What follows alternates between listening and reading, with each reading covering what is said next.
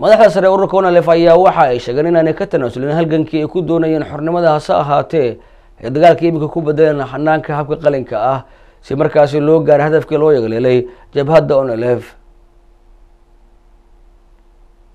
munaasabad lagu xusayay sanad guuradii ururka onalef la as-aasay iyo sidoo kalena soomaalida ku nool u k lagu soo bandhigayay halka uu maraya halgankii xoriyadoonka ogaadeynaya ayaa waxaa ka hadlay madax kala duwan oo ka mid ah ururka onalef iyo jaaliyadda soomaaliyeed oo wadanka u k dadkii halkaasi ka hadlay badankooda ayaa sheegay in ururka onalef uu weli u taagan yahay hadafkii loo as-aasay hase ahaatee siyaasad ahaan ay ballaariyeen ujeedkooda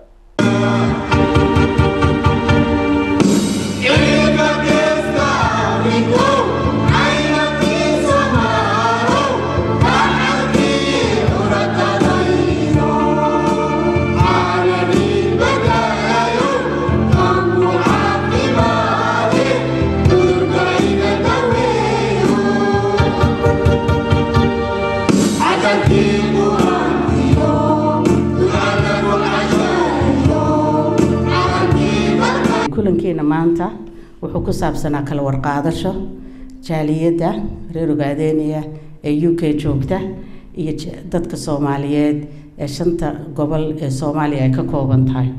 Ahamiyadda shirku waxay tahay inay inooga warbixiyaan madaxdii jabhadda wadaniga xoreynta ogaadeynaya naftood horayaashii ilaa boqol sannadood u soo halgamayay dhulka iyo gobolka inaga maqan ee guud ahaan ay degto soomaaliya heshiiskii dhex maray iyaga iyo etoobiya bishii oktoobar ee sannadkii la soo dhaafay.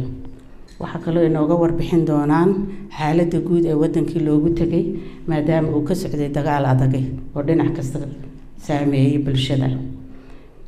Jaaliyad ahaan jaaliyadda london iyo guud ahaan jaaliyadda u k-ba waxay u taagneyd markii hore haddana ay u taagan tahay midnimada ummadda soomaaliyeed.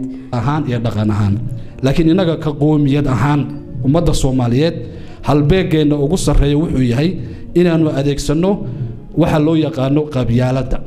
Inay doorashadii bilaabmayso oona laftuna ay noqonayso kulle xisbiya iminka xisbiyada ka mid a waddanka shacbiyada badbadana waddanka ay leedahay iminkana ay la shirtay qoomiyado fara badan oo diridhaba ka mid yihiin iyo qoomiyado fara badan oo dalka gudihiisa ku yaalla intaba. Jabhaddaas onlf la yidhaahdo oo soomaalinimada u dhimanayso una baaba'day una dhimatay iyo diintii dhibaatooyinka haddan haysta waxay tahay go'aan loo kala maqan yahay. Ayaa ninkii maqan xuquuqdiisana way maqan tahay taladiisana way maqan tahay. Dhibaatada marka maanta aan ku dhacnay ayay keentay marka. Ogaadeenya isbeddel baa ka yimid. Horeyna waan u sheegay.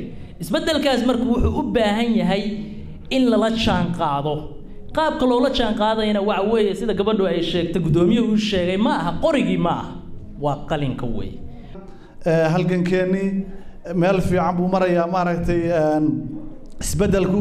Waxaynu u baahannahay inaynu isa sii raacinno inaynu maaragtay qalinkii qorigeenni u bedelnay qalin.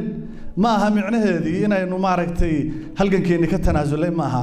Waxa weeyaan un qalink qorigii aynu ku dagaalami jirnay unbaa qalin loo bedelay meel buu soo gaadhay. Ultimadii baynu taagannahay meeshii aynu rabnay wax yar baa inooga dhiman.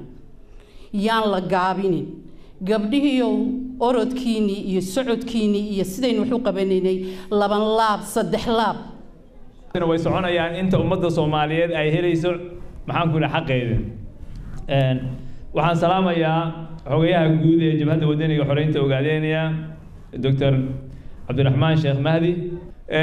Waa la taataabtay jabhadda wadaniga xoreynta ogaadeynaya xaggee ka timid marka hore aan isweydiino ummadda soomaaliyeed waa hal hal hal hal naf weeye hal nafna lug lugna inay caafimaad qabto tuna xanuunsato meel heli karo hal naf lugtu hadday bukooto gacanta kale way bukto bukoonaysaa waxaa weeyaan geeska africa potentiality baa ka jira fursaddaas yaan la luminin ha loo soo jeesto paradigmkii horena ha la bedelo qori meel laguma gaarayo kii qori ridayo qoriga waktigiisa uu dhammaaday waktigii caqliga waktigii dhaqaalaha socda.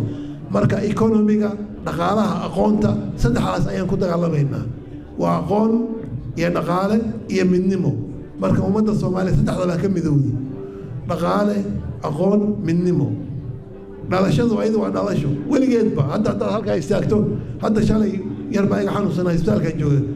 Gabar soomaaliyaan ku arkay aragtay wiilkeeda garabka haysay reerkay tahay mayn oran maxaa tahay mayn oran way ka danqanaysay waa soomaalinimada dhabta waa taas wey marka dadka soomaaliyeed khuraafaad wey qabiilka waxba kama jiro waxaad ku garanaysaa labada qabiilka markii la kala tagay ayagun baa haddana qoriga isu qaadan labada isku reerka isku raacda maanta markii beri loo baneeyay goobta ayagun baa sii jiri way sii socon weligeed way dhamaan waayo wax wax nuxur lama ah laakiin soomaalinimadu wax jira way dhaba wey I'm Somali I'm proud wasalaamu calaykum waraxmatullahi wabarakaatuh